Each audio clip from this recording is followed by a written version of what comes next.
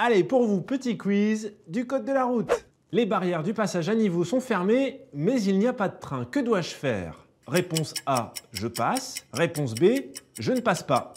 À votre avis Hein Eh bien, à ce qui paraît, à Fény, près de Maubeuge, les automobilistes préfèrent passer.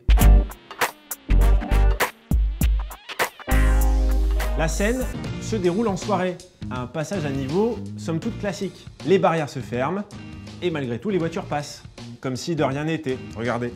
C'est un automobiliste qui a posté la vidéo sur YouTube. On y voit clairement une voiture franchir les barrières et traverser les voies. Puis encore une autre. Évidemment, c'est interdit par le code de la route. Et disons que c'est pas comme si on entend régulièrement parler d'accidents sur les passages à niveau. Dans le cas de Fény, ce soir-là, c'est un train de marchandises qui est tombé en panne. Le problème, c'est qu'il avait déjà déclenché le signal automatique. Comme il n'avait pas franchi le passage à niveau, la barrière est restée fermée. Normal. Mais ça a duré de longues, longues, longues minutes. Du coup, certains conducteurs, plutôt que de faire demi-tour, ont préféré traverser. C'est tellement plus simple que de prendre une autre route. Rappelons simplement que faire ça, eh bien c'est 4 points sur le permis. Après l'autre question, c'est doit-on encore laisser des passages à niveau avec une seule barrière de chaque côté Même si la loi le permet, c'est quand même problématique.